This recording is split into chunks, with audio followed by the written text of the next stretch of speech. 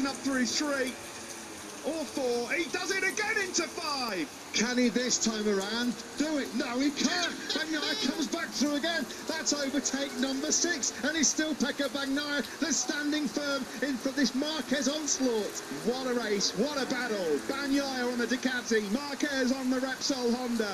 It's all on the line.